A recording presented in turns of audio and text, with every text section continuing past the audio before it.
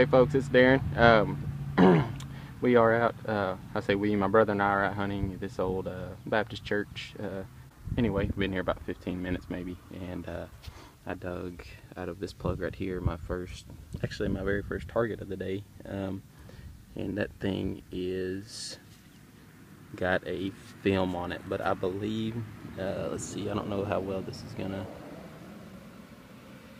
you can see part of the wheat stalk on that on that lower side right now uh, in the viewfinder that has that that crust and stuff that's knocked off of it. So I'm not going to do a whole lot to it here. I think I can probably get most of that off though, um, and maybe get a date on it for you. So whenever I do that, um, well, actually you can kind of make out Lincoln's silhouette right there. Um, whenever I get it cleaned up, I will uh, try to get back and give y'all a date on it. So anyway, we're gonna get back to digging. Thanks. All right, guys, uh, my brother and I are out uh, again today. We're at Old Church outside of our hometown. But um, he just dug a Wheatie earlier, I think from the 50s, and I just got my first coin target of the day, and it was it was a decent signal, but I really thought it might be a zincoln. Um, it was pretty deep down in that hole, but uh, it came out, and I thought it was going to be a Wheatie, and the more and more I started kind of rubbing on it, put a little water on it. I think it's going to be an Indian. So that is good stuff right there. We've got an old coin from this site. We've been here for, I don't know, half hour, maybe an hour. Haven't really turned up much. So we kind of assumed it had been hunted um, before by some people you know pulled all the goodies out, but maybe that's not the case. So, but that's I'm pretty sure that's an Indian. You can see one cent on the back. I need to put a little more water on it, see if I can bring any more detail out, possibly get a date. But anyway, um, I'll try to do that. If I can get a date, I'll uh, check back with you and let you know what it is. All right, guys, real quick. Uh, got a little more water on this and got a date, and it looks like it's going to be a 1905. So if you can see that, yeah, just barely. It's a 1905 Indian.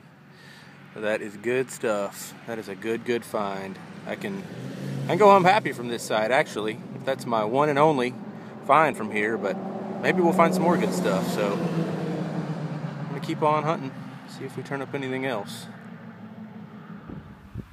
Hey everyone, it's Darren again. Um, I wanted to kind of give you all a better understanding or idea of uh, the building, the old Baptist church that we were hunting. So anyway, that's uh, looking from the west. But anyway, uh, we've been out here probably about an hour and a half now. Uh, my brother dug a 1905 Indian just probably 30 minutes ago.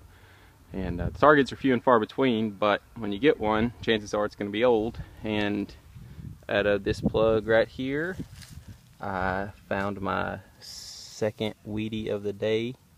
Um, and it looks to be a 1925, I believe. Um, I'm gonna do some more cleaning on it, but really good sign. Where uh, when the targets are here, they're old. So we're gonna get back to digging, and uh, we'll let you know if we come up with anything else. Hey, it's Darren again. Uh, just giving you a quick update. I was just about 10 yards that way um, on that last Wheatie, which is about five or 10 minutes ago. Just working my way down here, and I believe I've got another one. Let's see. Um, it's like 1941. So, anyway, good stuff. Old coins around here. Nothing really new. Um, so we're gonna keep on uh, searching and see what we can come up with. Alright guys, it's been about five minutes. You can see that big clump of green grass right there in the middle of the frame. That's where that other Wheatie, or that Wheatie I just dug came from. And uh, I was walking back along and got a screamer and uh, got out of that plug right there. And there she is, ladies and gents. I have no idea yet, but I know I see Silva. So we're about to reveal it live for y'all. See what it is. Alright. It's going to be a Merc. I believe, according to the back of it. Let's see if we can get her. Yep. Another slick Merc. That's what was coming in like a Wheatie. Alright, alright, alright. Let's see if we can. Looks like it's gonna be a 36, maybe.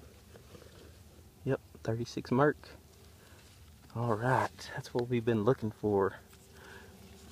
Man, it's a good ratio around this place too, though. I think we've only dug, I've dug one modern, and it was, I mean, it wasn't even zincoln, it was a copper memorial. So, anyway, we're gonna keep on digging and hopefully get some more of these beauties out of the ground. All right, everyone, it's Darren. Um, we are getting ready to wrap it up. Uh, we've got to be back in town for something, but uh, hunting along on the same side that I've been at, and out of that plug right there came another Wheatie. Uh, I don't know if you can see. See if I can get it focused in for you. Get it away from the ground. There it goes.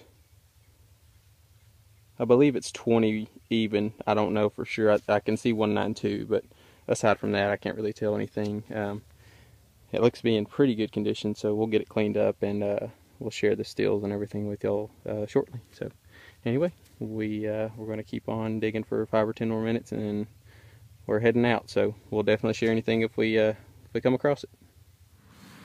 All right, guys. Uh, quick update. I got my second coin for the day. Darren has uh, followed up my Indian with I think three, four Wheaties and a Mercury dime. But uh, I just got a real deep signal here, but it was there, and uh, I can make it out dug it up, and it's a uh, it's a Wheatie, the 26 I believe. So so far I got an Indian 1905 Indian head cent and a 1926 Wheatie. So it's good stuff. Got a few more uh, minutes to hunt here before we have to leave, so we're gonna keep uh, keep going, see what we can turn up.